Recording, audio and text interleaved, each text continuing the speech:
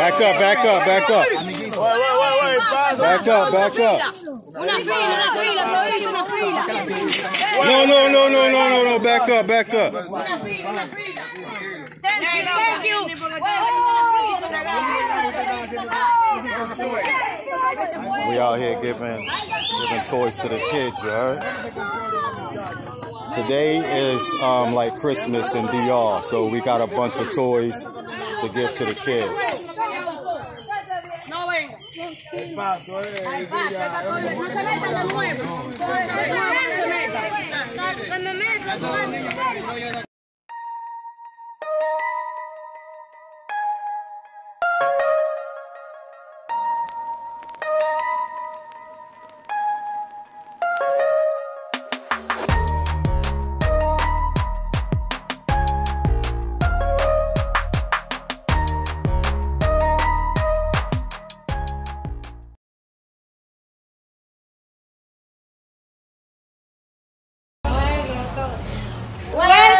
To Flip Flop.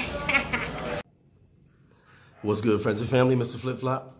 So, February of 2019, I started the business video, part one. Then March, part two.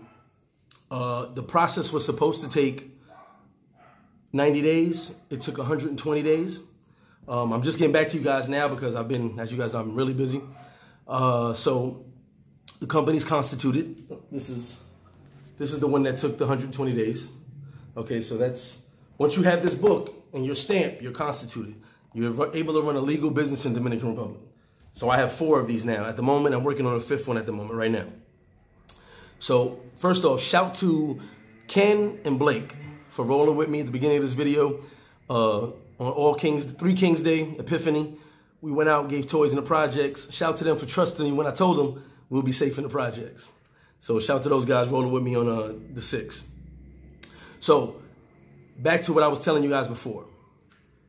The two most important things in having business in the DR, well, any business, period, but in the DR mainly, especially if you're you're you're a non-Dominican, is an accountant and a lawyer. Have to have those two things.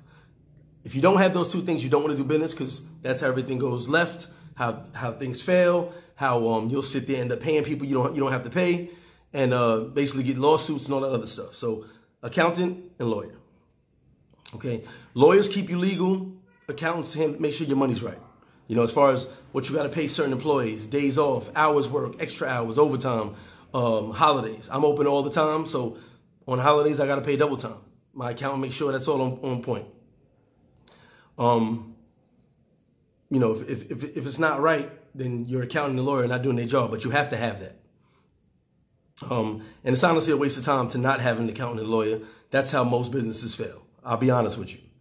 Uh, it cost me a little extra money per month to be totally legitimized, but as fast as Flip Flop went up, I had to protect myself and make sure that no one could mess with me. You know what I'm saying? So, yes, I paid more, but there's not a single person could walk up to Flip Flop. Anybody come mess with my business. So, excuse me, you know, it's worth it. Whereas other other situations, someone will run up real quick and, oh, go check that guy out. Go check what he's doing out over there and cause problems for your business. And it's happened to people before. Okay, so pros and cons of doing business in DR. The pros are you're in paradise. You're doing business in paradise. Uh, you get to employ the locals, so you help out, you know, get, get, getting people jobs. Um, the freedom, there's a lot of freedom down here. So, um, you know, you got to be on point. So the, I would say the cons are only having to be around your business a lot. You know, as you guys know, I'm at Flip Flop almost all the time. If I'm not there, I'm running errands or just on an adventure somewhere, but that's few and far between. I'm always handling business. Um, and just the overall, you know, you get a lot of hate. And I'm not mean haters. I mean hate as far as other businesses not being as successful. Hate as far as locals not being happy that you're doing good. You know, they, they hate, hate that they didn't think of that idea, whatever the case may be. Uh, depending on whatever the business is. Now, also, I'm gonna remind you guys, if you have, if you want to do a business in DR, you also have to decide tourist business or local business. As you know, you guys know, Flip Flop Sports Bar is a tourist business. So they just raised the minimum wage to eleven thousand two hundred, I believe it is, per month. So minimum wage went up in the tourist sector. I don't believe it went up in the um, in the normal business. I believe it's still seven or eight thousand pesos, something like that. So that that varies as well. Which your accountant and your lawyer will handle that part for you, and let you know what type of business you are, um, who you're catering to, as far as what area you're in. This is Sosua is a tourist area, so I catered to tourists. I catered everybody, but tourists are the uh, are the I'm in the tourist sector basically. So that's what that is. Um, one second. Also, I told you guys before the 90 day rule. And this is something you really have to vet your employees on because there are people that will work for 90 days just to get that lump sum of money at the end. They'll give you great work for 90 days and then they'll say, I don't want to work no more. get that 90, get that 90 day uh, liquidation, which is unemployment, and they're good to go. So you kind of got to vet your employees. As you guys know, I focus on service and stuff like that. So I can kind of vet my people earlier than most but you do want to vet people because you can tell who is there to collect the check and who's there to actually work. Um, and you know, I, someone made a comment previously about paying police. I don't pay anybody. You know, you want to help some police out, stuff like that. Donate to the cause, cool, but they can't help your business as far as issues. And if you have issues with your business, you need your lawyer and your accountant. That's who can help you with your business. Um, also, you have to understand that you will be paying Social Security and insurance for every employee once a month. You have to pay it all. I just paid um, Infotep. You have to pay them once a month the insurance and Social Security for each employee. Uh, by the way, almost every business is supposed to. They don't all, but you have 18% tax, which is the, the, the tax in the country, and then you have a 10% legal tax. What that is, is the actual tip um, I don't charge it. I expect you guys to tip off of the great service. Most businesses charge it and don't give it to the employees. Each employee is supposed to get 10% of the profits. Most places don't give it to them and they charge you anyway. I don't charge it and I let them earn their tips. So it, it works a different way. But 18% you have to charge. The 10% is optional. But the 10% most people, as I said, most businesses charge and the employees never see it. As I said, I have to be legit to protect myself, protect the business. Um, so things you deal with. I mean, case in point, I'm a very creative person. As you guys know, the, the slogans, um, the world is flip-flop, the funny signs you see at the bar. As many as you know, I started saying two years ago, home of the famous wings. We have the fam- most, the best wings in the Dominican Republic. Well, this is a copycat league like the NFL. And I'll, I'll backtrack real quick. When I had the spot in 7, um, 718 in Puerto Plata, I had this amazing Brugal special, one for two at a certain time, blah, blah, blah. I was killing it. My spine Puerto Plata was small, but it was, it was, it was jumping. So one day my employees called me and they go, hey, you got to come around the corner. I said, okay, cool. I go around the corner and the biggest spot in Puerto Plata has a billboard with my special on it.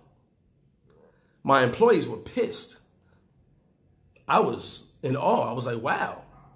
You know, that's great. They're like, you're not mad? I said, no, I'm flattered that these people who I can't even compete with would steal my special and steal my slogan. My slogan at 718 was where everyone is VIP. Donde todos son VIP. They went, took my, took my special and said the home of the real VIP. So it was cool, but it shows you that there's no creativity down here amongst locals and expats. So they jump on a bandwagon and try to just follow your wave which is normal, I guess. Um, it's just weird to me. You know, I, I'm like, I can be creative. Why can't you? So then, as I said, with the flip flop, I focused on wings, right?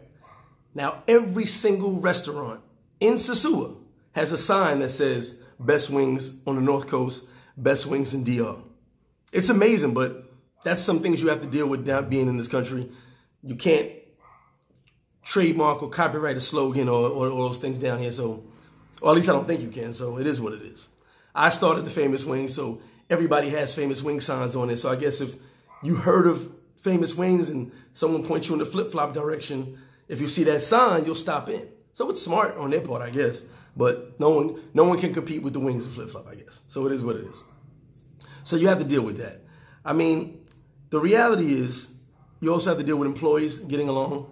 You know, that's something I, that's, that is really hectic employees, how can I say this? You'll have men versus women. You'll have Haitian versus Dominican.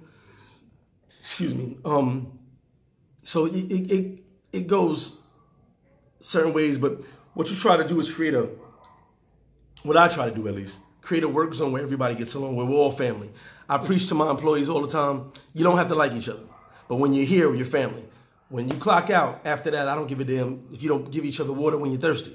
But here we're family. And so far it works. Everybody kind of gets along. I've had instances where we had a cancer in the in the kitchen maybe or cancer in the bar and I had to ship somebody out. You know, those things happen. So basically, to, to sum it all up in a nut, get your company constituted, okay? Once you have it constituted, you have your stamp, your RNC number, which is your basically your business ID. Uh, get your employees. Make sure you're paying them the right pay scale depending on the type of business you have. Your accountant will help you with that. Your lawyer and your accountant should be taking care of all your paperwork. As I told you guys before, it's, it's anywhere around 1500 to 1800 US, depending on how much you need to get it constituted. Um, that all, it's all levels. Then there's other ways to get constituted where you're not actually running a business, but you can get a legal license to run a business. There's different levels to getting constituted. This is actually to have an actual physical business. Um, your insurance, Social Security, your accountant will handle that, you know, to make sure you, you every employee has uh, Social Security and insurance being paid. And know that in 90 days, you are responsible to pay your employees uh, liquidation, which is unemployment.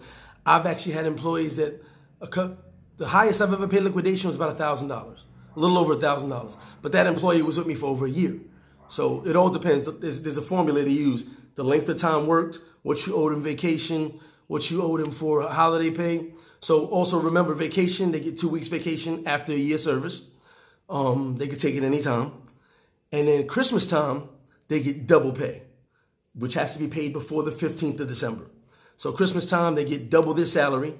You pay them their regular, like on the 15th, they get half their pay. Then they get a whole month's payment with that payment. So it's double pay in Christmas time. And then, as I said, they get two weeks vacation. So most of the stuff you won't be dealing with if you have your lawyer and your accountant, but these are things you need to know. All right. So I'm to do a live if you guys have any questions, hopefully in the next couple days about business tips and business questions. Get at me, Mr. Flip Flop. Love all you guys. I'm out.